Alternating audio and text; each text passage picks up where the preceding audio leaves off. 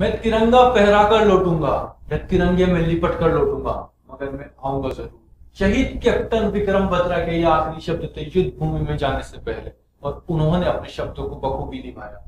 तिरंगा भी फहराया, और तिरंगे में लिपट कर भी लौटे। और इस वक्त उनकी उम्र केवल चौबीस वर्ष की थी, जिनका जन्म 9 सितंबर उन्नीस सौ चौहत्तर में हुआ था, और आज ही के दिन 7 जुलाई उन्नीस सौ निन्यानवे में उनका यहाँ मृत्यु हुई थी। उन्होंने देश के लिए अपनी जान दी थी। और अगर उनके बारे में हम जाने तो वो इंडियन आर्मी के ऑफिसर थे कैप्टन विक्रम बत्रा जिन्होंने पाकिस्तानी ट्रुप के खिलाफ तीन महीने तक जंग लड़ी थी और भारत को विजय प्राप्ति कराई और इसी बीच उन्होंने अपनी जान दी थी और इसी बलिदान के लिए, उन्हें सम्मानित करने के लिए उनको परमवीर चक्र से सम्मानित किया, किया गया था। बिल्कुल।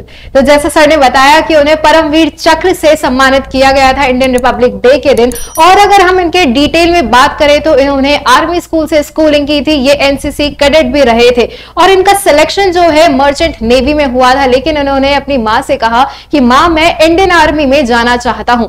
तभी से ये इंडियन आर्मी की तैयारी में जुट गए और इनका सिलेक्शन हुआ और हमारे इस भारत देश को इनके जैसा नौजवान सैनिक मिला। और अगर हम बात करें तो कैप्टन विक्रम बत्रा जो है, कारगिल युद्ध से पहले ऑलरेडी जम्मू में तेरह जम्मू कश्मीर राइफल्स में तैनात थे। और इन्होंने इसके पहले, कारगिल युद्ध के पहले भी जो एक जंग जीती थी, एक वो पहली बहुत बड़ी जीत उन्होंने हासिल की थी, उस टाइम उन्होंने जो कुछ शब्द कहे थे, वो उस वक्त ही नहीं, लेकिन आज भी इस पूरे देश में गूंज रहे हैं। और वो देश है, और वो शब्द है, ये दिल मांगे मोर। जी हाँ ये दिल मांगे मोर। ये आज हम सभी देशवासियों के दिल में बस रहा है, ये शब्द, ये दिल मांगे मोर। क्या होती है सच्ची देशभक्ति? क्या होता है सच्चा देशभक्त? कोई इनसे सीखे। और ज़रूरी नहीं देशभक्ति करने के लिए हमें सरहद पर लड़ने जाना हो। इससे देशभक्ति जहाँ से आप जहाँ है वहीं से हो सकती है। सिर्फ़ अपनी जिम्मेदारियों को निभाइए अपने फर्जों को निभाइए और अपने देश से प्रेम कीजिए सच्चे मन से। वही देशभक्ति की पहचान होती है। और उनको उस वक्त कारगिल का शेर शेर शाह के नाम से जाना जाता है।